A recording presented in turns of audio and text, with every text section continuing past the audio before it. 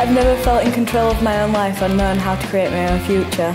We did fun things that actually didn't affect my benefits. They paid for my travel and they helped me become more employable.